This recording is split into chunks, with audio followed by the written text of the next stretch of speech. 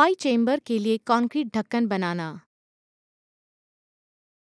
Y chamber ढक्कन Y chamber की ऊपरी हिस्से को ढकती है।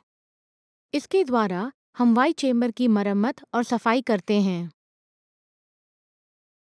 इस पाठ के अंत में आप वाई चेंबर के लिए कंक्रीट ढक्कन बना पाएँगे। वाई चेंबर ढक्कन में लोहे के डंडे हैं, जो कि आरसीसी यानी कि रीनफोर्स सीमेंट कंक्रीट की सतह के अंदर एक पैटर्न में है। कंक्रीट ढक्कन बनाने के लिए पहले हम लोहे की चटाई बनाएँगे, लोहे के डंडों से, जो कि 42 सेंटीमीटर और 32 सेंटीमीटर लंबे हैं और इन्हें सीधी और आड़ी रखेंगे। डंडों को एक ही दूरी पे, यानी कि 9 सेंटीमीटर की दूरी पे रखेंगे। कवर ब्लॉक, जिनकी मोटाई 30 मिलीमीटर है लोहे की चटाई के नीचे रखे जाते हैं। कंक्रीट ढक्कन की हैंडल को, जिसकी ऊंचाई 10 सेंटीमीटर है और चौड़ाई 10 सेंटीमीटर है, ढक्कन के बीच में रखेंगे, ताकि वह ढक्कन से सीधी खड़ी हो।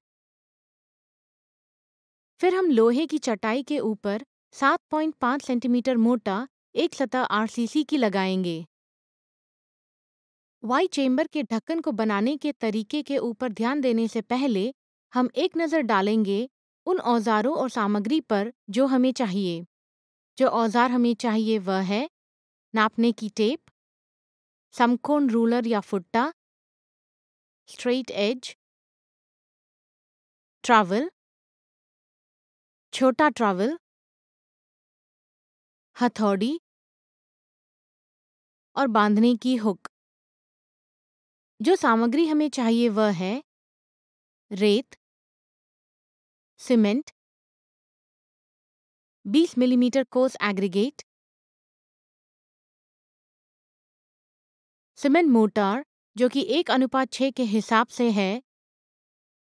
रीनफो सीमेंट कॉन्क्रीट या आरसीसी एक अनुपात एक पॉइंट पाँच, अनुपात तीन के हिसाब से, यानी कि एक हिस्सा सीमेंट का 1.5 हिस्सा रेत का, और तीन हिस्सा 20 मिलीमीटर कोस एग्रीगेट का। 8 मिलीमीटर के लोहे के डंडे, जिनकी लंबाई 3.8 मीटर है। ईंटें, जिनकी ऊंचाई 7.5 सेंटीमीटर है। 30 मिलीमीटर कवर ब्लॉक। अखबार। स्टील के वायर।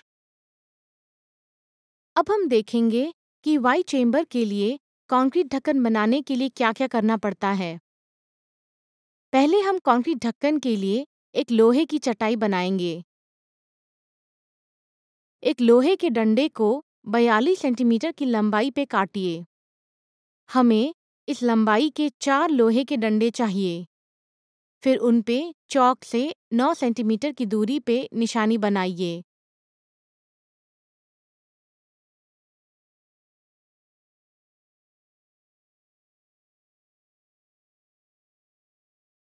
एक और 32 सेंटीमीटर की लोहे के डंडे को काटिए। इसी तरह हमें इसी लंबाई की पाँच लोहे के डंडे चाहिए। दोबारा इन पे 9 सेंटीमीटर की दूरियों पे निशानी बनाइए। अब आप दोनों लोहे के डंडों को सीधी और आड़ी निशानियों पे रखिए, जैसे कि दिखाया गया है।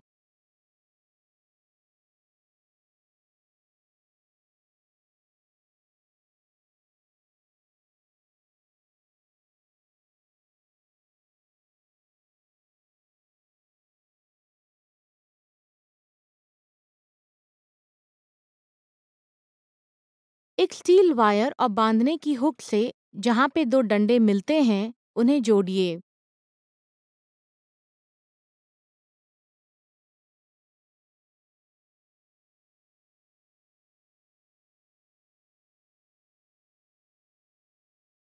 हमारी लोहे की चटाई अभी तैयार है। अब हम कॉन्क्रीट ढक्कन के लिए एक हैंडल बनाएँगे। एक हैंडल को बनाइए, जिसकी ऊंचाई 10 सेंटीमीटर है और चौड़ाई 10 सेंटीमीटर है।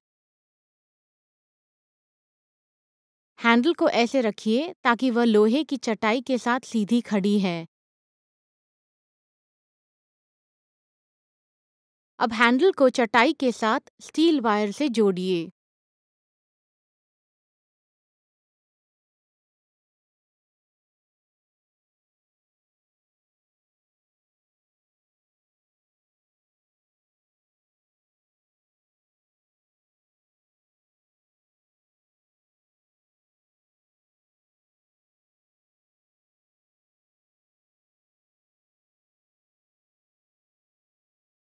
अब हम आरसीसी डालने के लिए जगह पे निशानी लगाएँगे।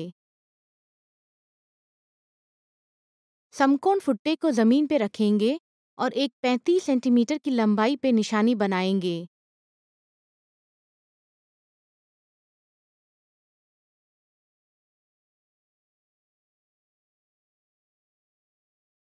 अब फुट्टे के दूसरे तरफ़ 45 सेंटीमीटर लंबाई पे निशानी बनाएँगे।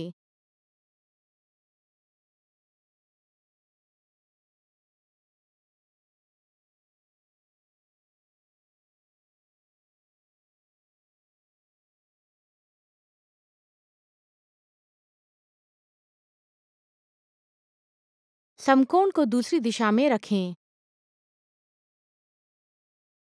एक ट्रैवल की मदद से आयत के दूसरे आधे पे निशानी लगाइए।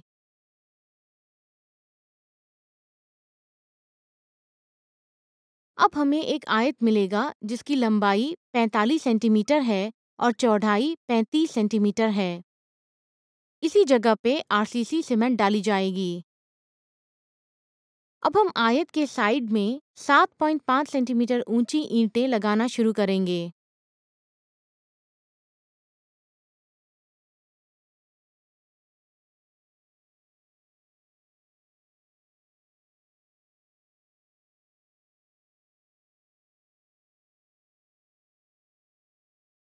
अब आयत के अंदर एक अखबार की शीट बिछाइए।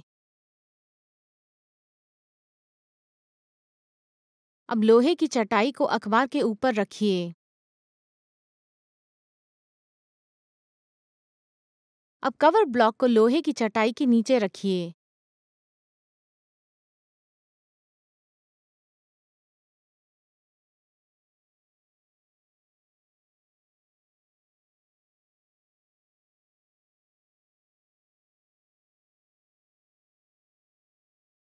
अब हम आरसीसी यानी कि रीइंफोर्स सीमेंट कंक्रीट को लोहे की चटाई के ऊपर डालेंगे।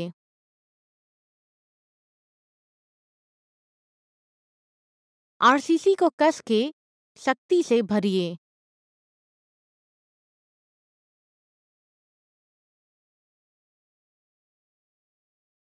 आरसीसी को भरते जाइए तब तक जब तक वह रखे गए ईंटों की ऊंचाई तक नहीं पहुँचती। एक ट्रैवल से आरसीसी को बराबर भरिए और लेवल कीजिए। धीरे से आरसीसी की सतह को एक स्ट्रेट एज से थप-थप कीजिए। यह करने से अंदर फंसे हुए बुलबुले निकल जाएँगे।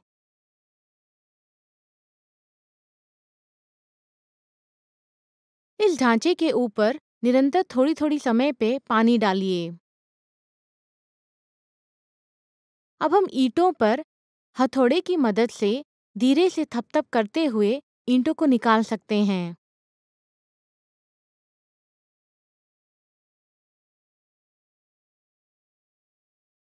अब ढक्कन को तीन दिन तक रहने दीजिए। अब बहुत सावधानी से ढक्कन को उठाइए और अखबार को ढक्कन के नीचे से निकालिए।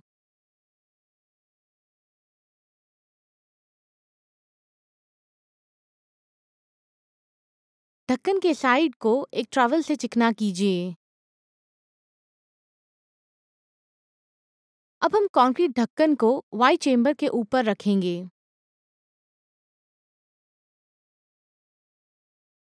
जो जगह है, चेम्बर और ढक्कन के बीच की उन पे सभी तरफ़ सीमेंट मोटार से प्लास्टर कीजिए।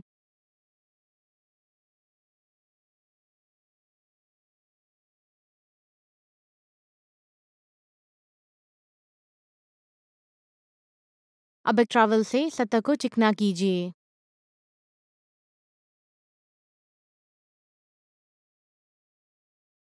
इसके साथ हम इस पाठ के आखिर में पहुँच चुके हैं। इस पाठ में हमने वाई चेम्बर के लिए एक कॉन्क्रीट ढक्कन बनाना सीखा।